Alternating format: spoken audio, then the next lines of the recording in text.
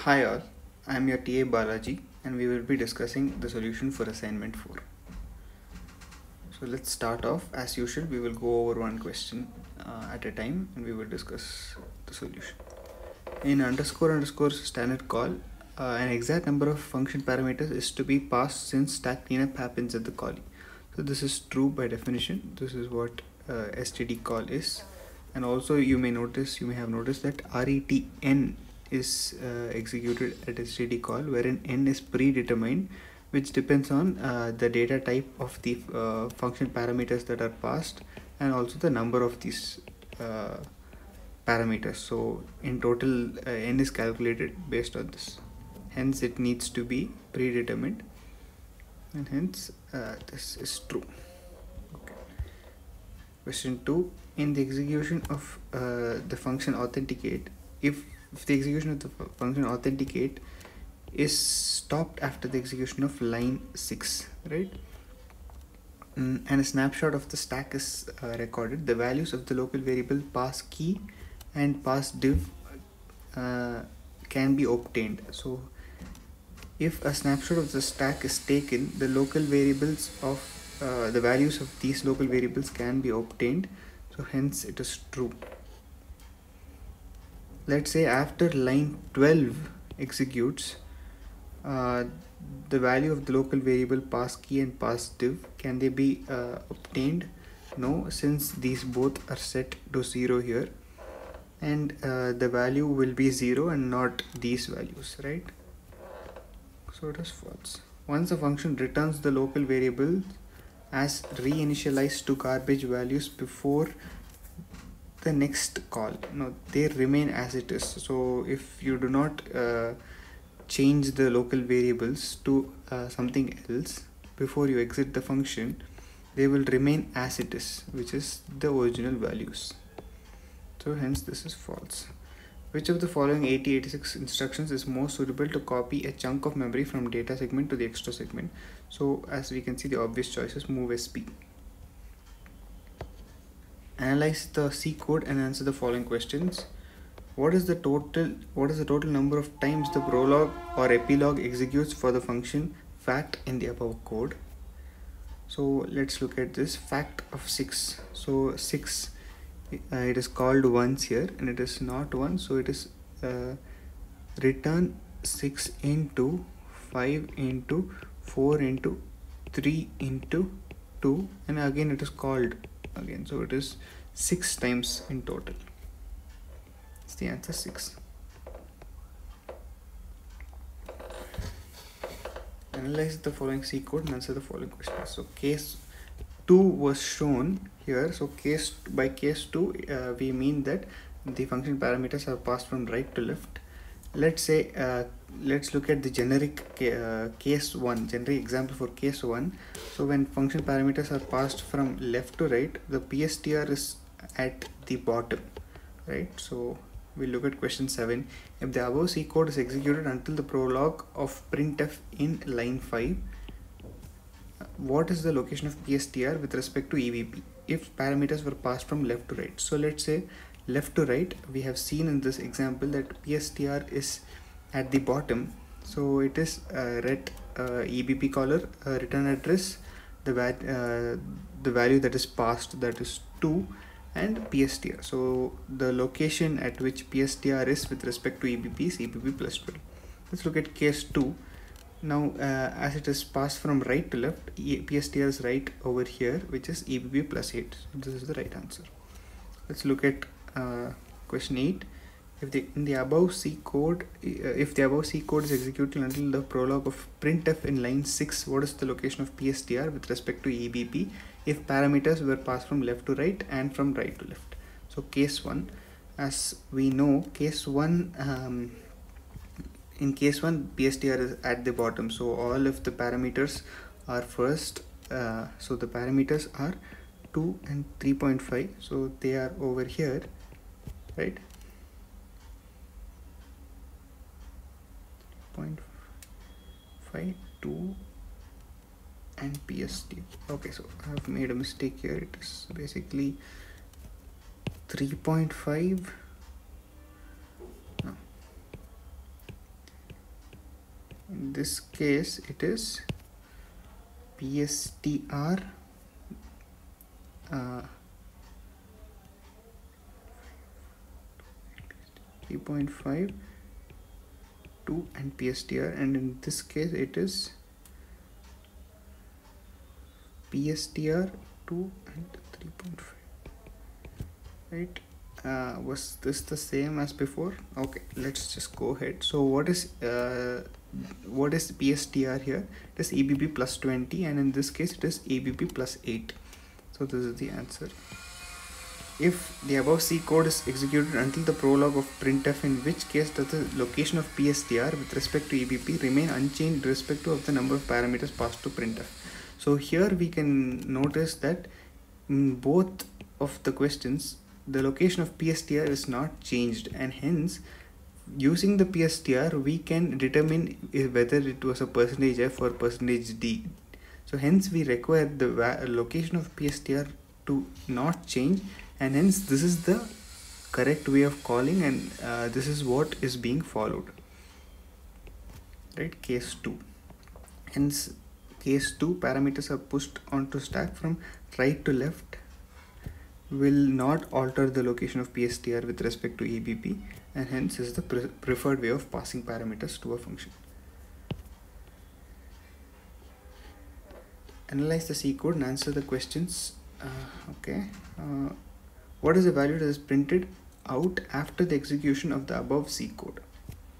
So let's look at this function A. So here k equal to fn of 2 comma 3 so here it is 2 plus 3 k is equal to 5 yeah what is the value that is printed out after the execution of the above C code if line 8 was replaced by k equal to fn of a so fewer number of arguments are passed and this will result into uh, result uh, as a compiler error and hence this is the right answer. Now if more number of arguments are passed what happens is uh, k equal to fn of 2 comma 3 comma 4 right? So if more number of arguments are passed it just ignores this other argument and still uh, the functionality is carried ahead with these two variables so with these two function parameters right? So uh, here it is 2 plus 3 which is equal to 5 and k is equal to 5 in this question. If statement 1 is replaced by un, uh, int underscore underscore cdecl call and 8 is replaced by this what uh, which of the following is true? Since the stack cleanup is happening at the caller there is no issue yeah so uh, in, in, underscore underscore cdecl call c uh, the stack cleanup esp right? Esp equal to esp plus uh, n. That happens at the caller. So there is no problem. The execution returns to the uh, function main correctly after fn yes this is also true. The function executes correctly if it was underscore underscore standard call. No it does not because stack cleanup will be a problem in this case as it will expect uh, and clean up only two uh, for will account for only two parameters. However there are three parameters that are being passed. Hence stack cleanup will be a problem in underscore underscore standard call. The execution this is wrong. The execution returns to an arbitrary location after executing main. Now this is wrong. Arbitrary does not return to any arbitrary location answer the following question based on the assembly code for the c statement given below. So what is x word here? So as we know that uh, it is passed from function parameters are passed from right to left. So first uh, this is nothing but both are double. So it is d word sorry it is q word. And where one is y and where two is x. Right? What is n here n is nothing but uh, since the stack cleanup is happening at the caller n is nothing but the total number of arguments that are passed the total size right? So it is uh, for two double uh, parameters it is 8 and 8 and for one char star pointer it is 4 so any pointer it is 4 bytes for any pointer right? So it is 8 plus 8 plus 4 which is nothing but 20 right? So 20 is the answer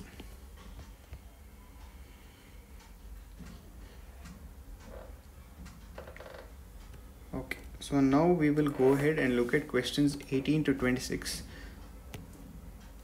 it is based on the myprintf function which was discussed in lecture 17a and 17b assume that the myprintf function is called from main as follows. Okay. So and also note that questions 18 to 26 pertain to the execution of myprintf as called in the c code below hence answers slash values obtained in these two questions are interdependent. Do not treat them as separate questions. So we'll have to use the values obtained in uh, both of these questions and they are interdependent is what is being conveyed. Okay so let's uh, dive into what this is. So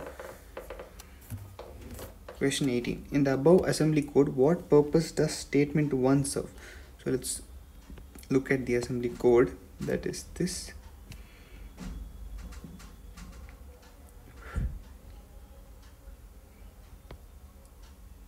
So yeah given information is this and this is the C code wherein int main x equal to 2 n equal to 3 this is how it is being called my printf.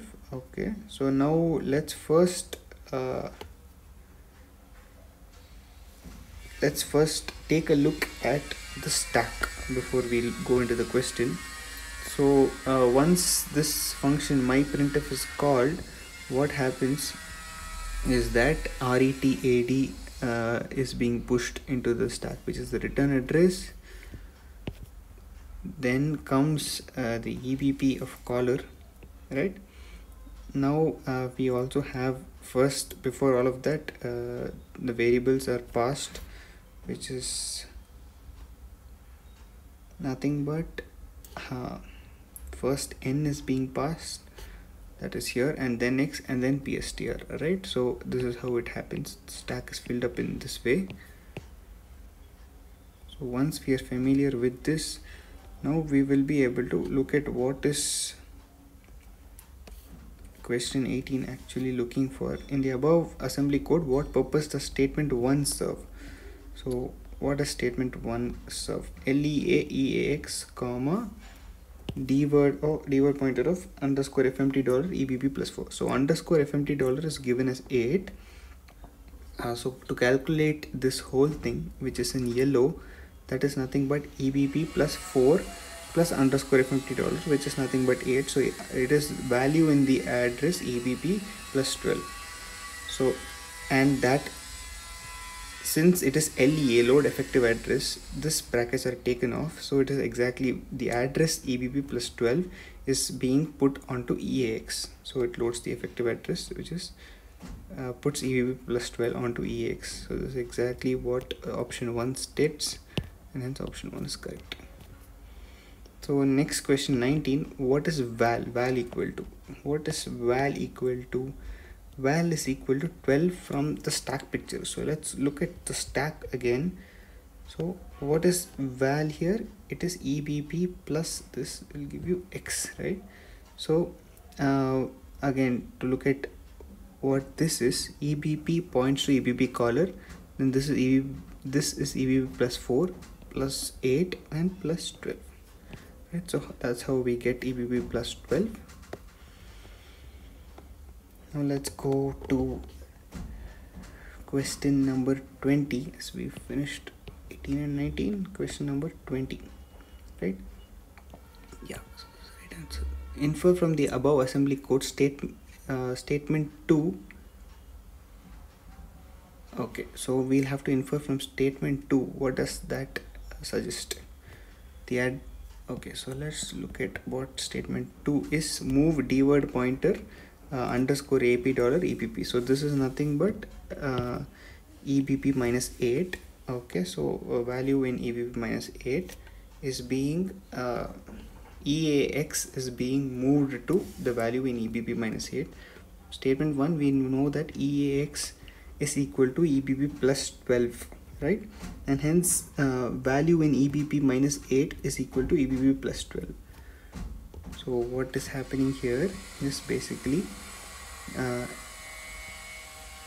inside in the address ebp minus 8 in the address EBP minus 8 EBP plus 12 is being put. So that is what is happening over here. So let's look at the options. The address of the c variable ap is ebp minus 8 is that true yes so the address of ap is this. That is true. So let's mark that away.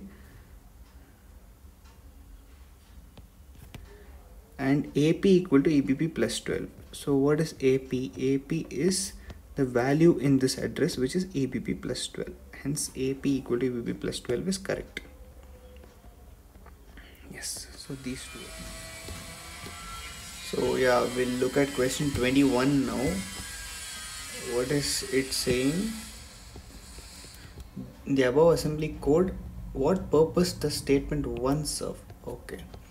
So let's look at statement 1 move eax comma dword pointer of ap dollar uh, ebp so this yellow box is nothing but uh, value in ebp minus 8 so that is pushed onto that is moved into eax so hence option 4 which says uh, stores the value in the address ebp minus 8 onto the register eax is correct.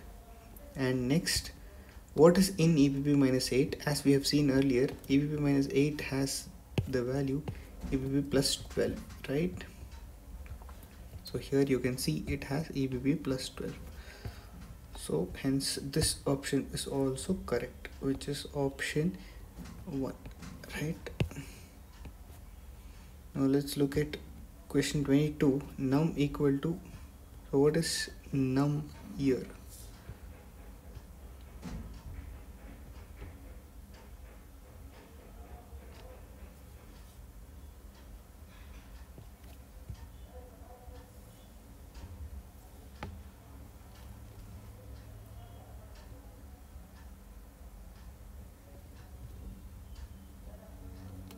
since the C statement is va arg ap comma int so the num is 4 here. So add eax comma 4 right? So that's exactly what it is. What is the value in the c variable ap once va arg executes after encountering percentage d for the first time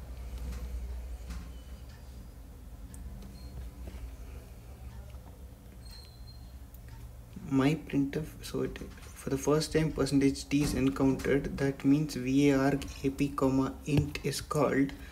So what happens is uh, move keyword pointer uh, app minus 8 comma eax so what is in eax ebp plus 16 right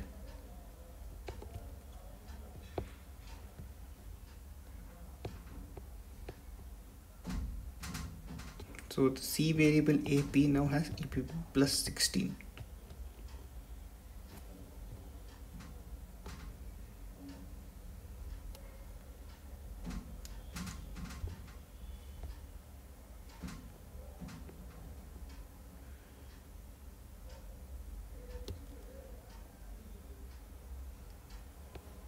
so why does this have ebp plus 16 because it has encountered EAX and uh, it has encountered uh, int and